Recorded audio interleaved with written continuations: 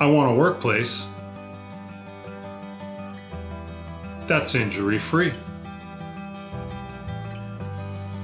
And if that's going to happen, then it's up to me. I can't take for granted that anyone has done all the things that I should have done. I must take the time with each task I do. To look for the hazards and think the job through. To check the procedures and follow them all.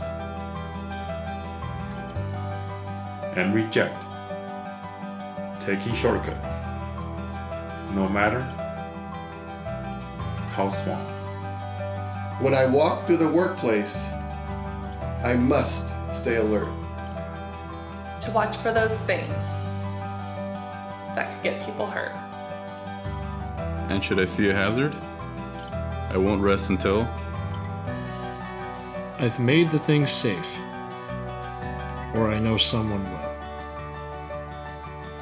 I must question each unsafe behavior I see. And encourage all others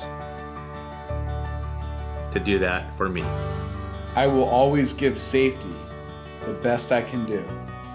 And expect that performance of all others too. I must always remember to let people see the things they do safely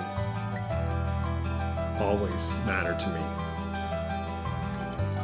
Every act is important, no matter how small. For the safety of one is the safety of all. We can all have a workplace that's injury free. By making it matter and making it be. If we all do our part, and each of us see. If it's going to happen. Then it's up to me